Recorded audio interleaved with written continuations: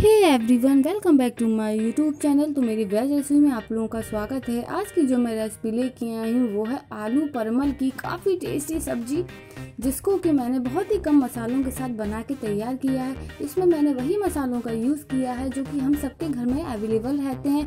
मैंने जो इसकी ग्रेवी बनाई है, वो बहुत ही सिंपल सी मैंने इसकी ग्रेवी बनाई है। मैंने बहुत हैवी ग्रेवी इसमें नहीं बनाई डाली है।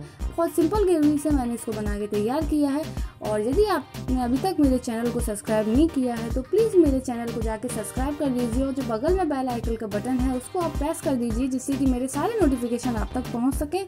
तो आइए मैं इसकी रेसिपी आप लोगों के साथ शेयर करती हूँ। तो यहाँ मैंने चार पाँच आलू लिए हैं और चार परमल लिए हैं। परमल हमें छोटी छोटी लेनी है और थोड़ी टाइट ही लेना, नहीं तो वो पकी निकलती है अंदर से। तो अब हमको इसको छील लेना है। तो ये मैंने परमल और आलूओं को छील लिया है। देखिए, परमल मैंने कुछ इस तरीके से छीली है तो अब हमें इनको ऊपर से नीचे से थोड़ा थोड़ा इनका काट देना है। तो परमल को हमें इस तरीके से काट लेना है। यदि परमल के बीच में बीजें निकलें तो आप उन बीजों को हटा दीजिए। अगर कोई पकी हुई परमल हो तो बीच में से आप बीजें हटा सकते हैं। तो अब हमें अपने आलू को कट कर लेना है। ये मेरे आलू परमल कट के रेडी हैं तो अब मैंने कढ़ाई में चार से पाँच चम्मच तेल लिया है। परमल को हमें एक से दो मिनट हल्का सा कुक कर लेना है, बस ये थोड़ी सी क्रंची हो जाए। परमल हमारी कुक हो गई हैं तो इसी तरीके से हमें अपने आलूओं को भी कुक कर लेना है। दो से तीन मिनट तक बस ये हल्का सा फ्राई हो जाए। तो हमारे आलू फ्राई हो गए हैं तो अब हम इन्हें निकाल लेते हैं। आलूओं को हमें निकाल लेना है। तो अब मैंने लिया है आधी चम्मच जीरा, दो पिंच हींग और मैंने ये दो टमाटर, दो से तीन हरी मिर्ची का पेस्ट बना लिया है। तो अब हमें इसको फ्राई कर लेना है। जब तक ये तेल ना छोड़ दे तो हमारे इस टमाटर ने अच्छे से तेल छोड़ दिया है। तो अब हम इसमें मसाले ऐड करने हैं। तो मैंने लिया है छोटी चम्मच हल्दी पाउडर, एक चम्मच धनिया पाउडर और आधी चम्मच लाल मिर्ची पाउडर। मैंने लिया है एक चम्मच के अकॉर्डिंग बेसन। तो अब हमें अच्छे से इसको फ्राई कर लेना है। तो मैंने इसमें एक कप के अकॉर्डिंग पानी डाल के इसको अच्छे से भूज लिया है।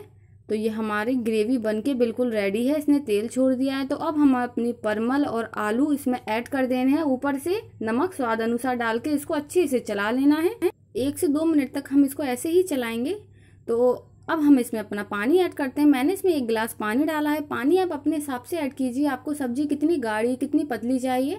तो अब हम इसको ढक के पाँच मिनट पकने देना है। तो जैसा कि पाँच मिनट हो गए हैं तो अब मैंने इसमें एक छोटी चम्मच गरम मसाला ऐड करके इसको दो मिनट और पकने देना है। तो दो मिनट हो गए हैं। हमारी ये आलू परमल की सब्ज़ी बनके बिल्कुल तैयार है। ये देखिए कितनी टेस्टी लग रही है खाने में और कलर इसका कितना सुंदर आया है। तो अब हम इसको निकाल लेते हैं। तो ये हमारी आलू परमल की सब्ज़ी बनके बिल्कुल तैयार है। तो मैंने इसको यहाँ धनिया से गार्निश कर दिया है। तो ये खाने के लिए बिल्कुल तैयार है। आप इसे पूड़ी के साथ खाइए, पराठे के साथ खाइए या सिंपल रोटी के साथ खाइए, ये बहुत टेस्टी लगती है। और आपको यदि मेरी ये रेसिपी पसंद आती है तो प्लीज़ मेरे वीडियो को जाके एक बार लाइक कर दीजिए और हो सके तो मेरे चैनल को सब्सक्राइब कर दीजिए।